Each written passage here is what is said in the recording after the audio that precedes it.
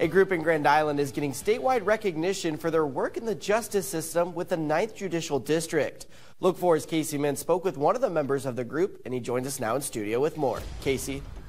Brandon, the people behind the Hall County Juvenile Detention Alternatives Initiative were honored in Lincoln last month for their work, and through their efforts, they have significantly decreased the number of juvenile intakes. The Hall County JDAI team is coordinated by James Schulte, and other members include District 9 Chief Probation Officer Mark Comacher, Hall County Sheriff Rick Conrad, Hall County Attorney Marty Klein, and judges Alfred Corey and Brian McQuay, according to a state report the JDAI program in Hall County has reduced the average length of stay for youth in detention to a five year low. It's also led to the county saving money and getting youth the help they need. And Judge Corey says the JDAI team has a lot of different community partners a lot of it's just sitting down, talking out issues, and uh, bringing together the parties, whether it's providers, the school system, um, whomever it may be, probation, and just say, what can we do to help these kids? And so that's been uh,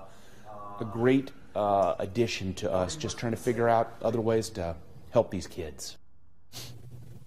And Judge Corey won one of the Nebraska Supreme Court's highest awards for improvement of community relations. And the future is exciting for the JDAI program. In collaboration with Mid Plains Center for Behavioral Health in Grand Island, the team is increasing adult opioid detox bed capacity to house more patients, paving the way for a juvenile reception and screening center. Brendan, back to you at the desk.